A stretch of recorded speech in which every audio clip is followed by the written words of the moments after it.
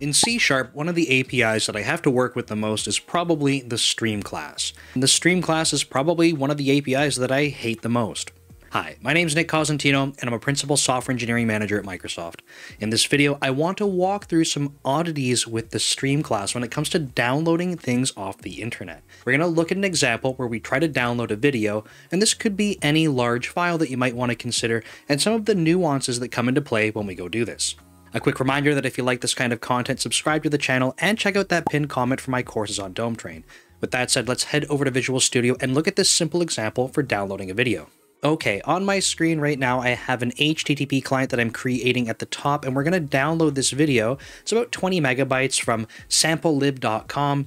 Nothing too fancy here, just a free sample of a file for a video that we could check if we wanted to to make sure that it's the right content. And it's 20 megabytes, so it's not like a trivial couple kilobytes that we're downloading or a couple bytes. We really have something that we can go check after make sure it's okay. We're going to download this, and what I'm going to do is compare a couple of different methods. So the traditional way, and I've already included sort of this extra parameter that we don't necessarily need to see because it's the default. But what we're going to do is look at this first method where we try to ask our HTTP client to go to this URL. So it's a get request. We will go to this URL and ask for the content and we'll read it back as a stream. I have a stopwatch around here. I have a little disclaimer because I've had some comments on previous videos where people are like, hey, you can't use that. That's not good for benchmarking. Surprise, I'm not benchmarking it. It's going to be a quick comparison.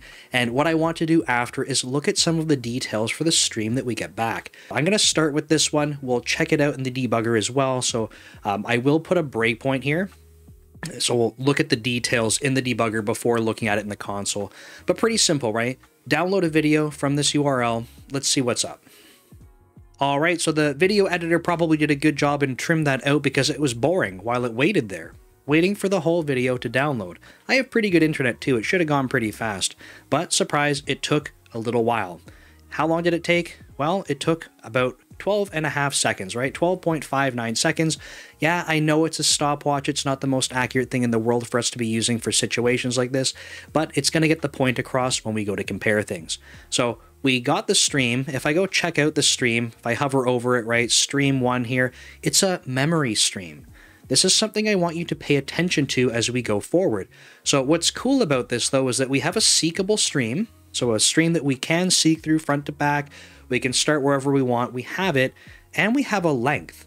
What's important about that length is depending on what you're trying to do in your application, you're trying to download something from the internet, you may want to care about how big that target is that you're about to try downloading. There's something interesting about this, and if you're not familiar with streams and the different stream APIs that we have to work with, a memory stream is a stream where all of the data is, well, in memory which means that we downloaded this video and we technically have a memory stream that's holding or wrapping around this byte array that is the full 20 megabytes of the video. It's not downloaded to my disk somewhere. It didn't do something else. It's just downloaded into an array wrapped in this memory stream, which is interesting. When we did this, we now got a stream that we can seek through. That's one of the properties of a memory stream. The reason I'm calling this out and the length as well is that when you go to leverage streams, there's a couple of interesting things that you can do with them in terms of copying data, you know, moving through them.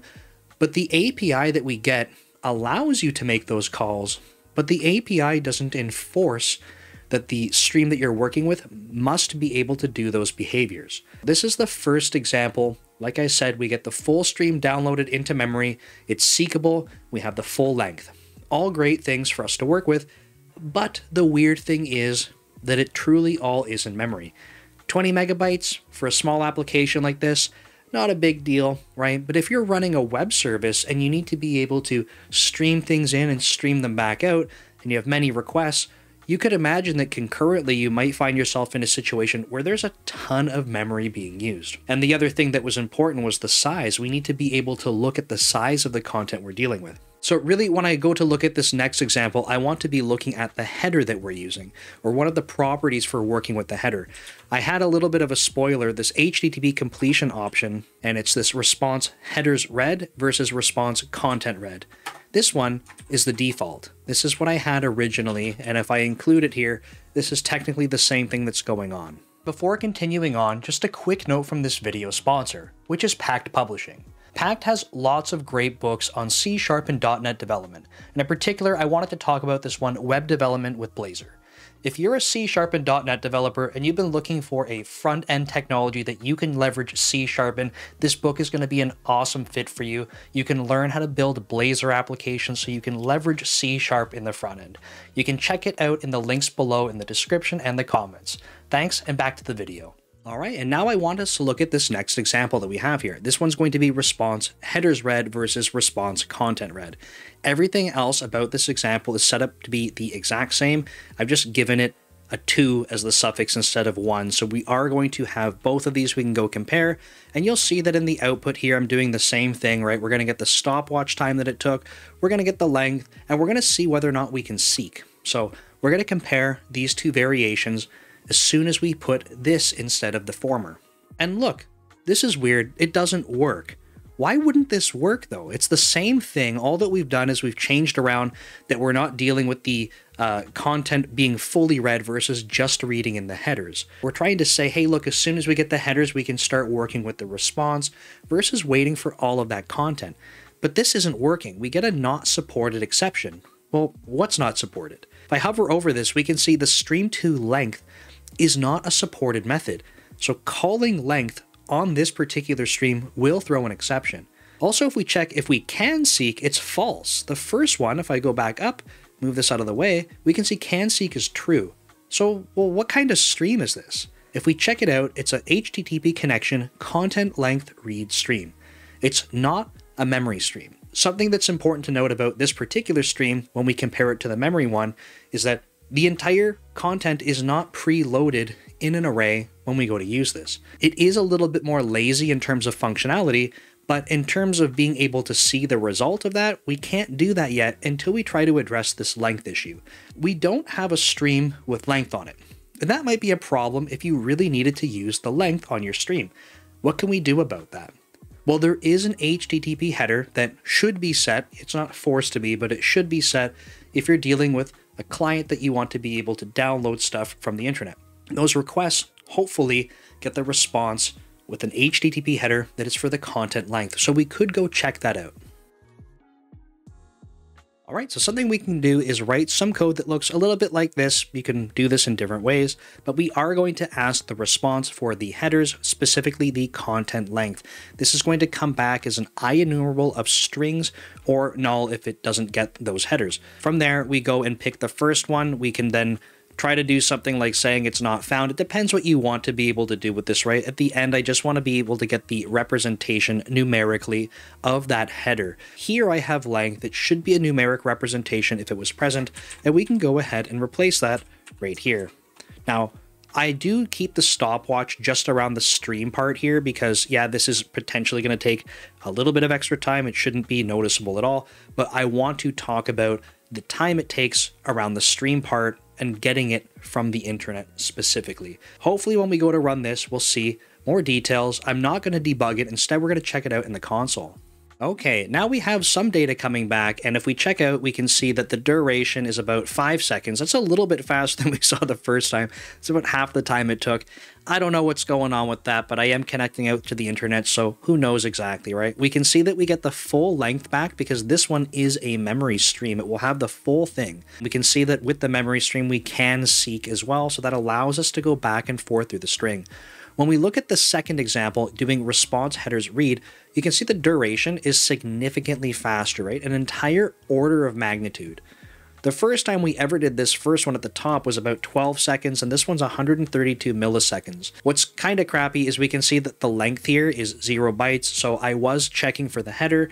I did go examine the headers coming back on this particular file request, and we're not getting the content length header. So not going to work all the time, so if you wanted to build something around this, you would have to check for the header and build in some resiliency around that because we can't guarantee that the server that we're requesting the file from will put that header in place, unfortunately. The other thing we see here is that we cannot seek on this stream, right? That's important. What you need to make sure that you're doing is when you're writing code working with these streams, if you need to be able to seek, you need to check the can seek property. Generally, I find, and again, it's not enforced, but if you cannot seek, usually you will not have a length as well.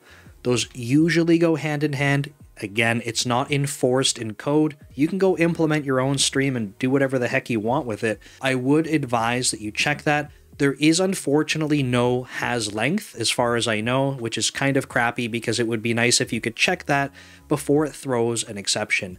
That's why I'm suggesting usually if you check can seek and it's false, you probably do not have a length on the stream as well. However, like I was trying to show, if we go back to the code, if you are asking for the content length, that is a workaround that you would be able to potentially have a length to work with. What you could do from there is if this did come back with a length, right? So let's say it came back and it gave us the length of the original stream like we saw in the first example with the memory stream. Now we know the full length of the content. Awesome. What we could do from there is build a stream that would essentially wrap that and have the length for us. So you could, if you wanted to, I'm not going to walk through all the details of this, but you could go make your own class here. So we'll do class stream with length, and then we could make it inherit from a stream, which is an abstract class.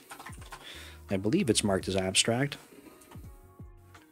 It is good, okay? I'm not making stuff up. That's what we like to see. But you'll notice that, like, there is a, a lot of stuff that you have to go implement on a stream, unfortunately, right? That's why I'm not going to go through all the details of this, but what you could do is have a stream that you're wrapping. Maybe we'll call it like inner, right, for the inner stream. And then we can ask Visual Studio to slap a constructor on there for us and pass it in. And if this is a stream with length, what you could do instead is, and this, I'm not trying to give you the best API for this, but you could pass in a length specifically. And that way here, let me go make this a field as well. I'm just using some shortcuts, by the way. Um, so this might say initialize property length. Where's the field? Is there no... That's kind of silly. I thought Visual Studio had a... Oh, that's what it's doing. It sees that there is a property already, and that's why it's suggesting I use it. So you could do this instead, where instead of all of these going to like inner can write, inner can seek, and you'd kind of just do these forwarding uh, properties and forwarding methods. For the length itself, you might say, hey, look, like I'm overriding whatever the inner one says because we know it's going to throw exceptions. And if you were able to get the length off of the header itself, you could essentially go wrap your network stream inside of this one and pass in the length off of the content. This unfortunately doesn't fix your issue with seeking. You're still wrapping a string or a stream that you cannot seek through, unfortunately, but you could at least get a little bit further with the length. The entire point of this is that I wanted to walk you through the fact that the stream API can be challenging to navigate, and if you're expecting that you can always seek or expecting that you'll always have a length, especially when you're working with network resources and things like that, it's not always going to line up well for you. If you enjoyed this video and you want to see some coverage on benchmarks, you can go ahead and check out this video next. Thanks, and I'll see you next time.